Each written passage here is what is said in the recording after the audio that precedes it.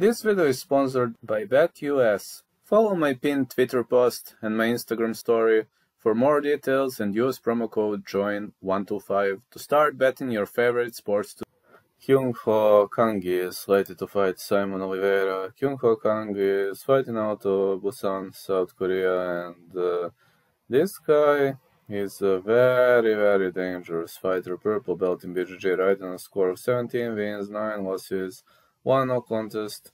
Kyung Ho Kang lost to Rani Yahya via unanimous decision, but Yahya was unable to finish him. He outworked Brandon Davis, Liu Pingyuan.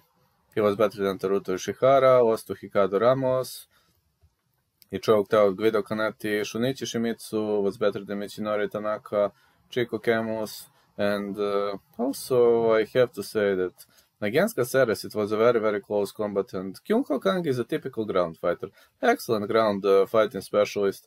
If he's able to, if he's able to drag the fight to the ground, if he's able to keep it on the ground, he'll probably have good chances of winning the fight. Now he's going to meet Saimon Oliveira, 18-4-0. Bantamweight fighter, 5 foot 4, 67 inches of reach. On the other side, Kyung Ho Kang is 5 foot 9, 72 inches of reach, which means uh, Kyung Ho Kang is uh, going to have 5 inches of uh, reach advantage. Saimon Oliveira lost to Tony Gravely via decision. Also, at Contender Series, he outworked Jose Alday. At Pancrase, he was better than Wataru Mimura. He was fighting some uh, low-level names, but uh, got to say that we've seen a great performance against Jose Alday. Against Tony Gravely, he showed a lot of toughness, but uh, his uh, ground game, his ground game is pretty much awesome, you know. So this could be the clash of two very, very skillful ground fighters.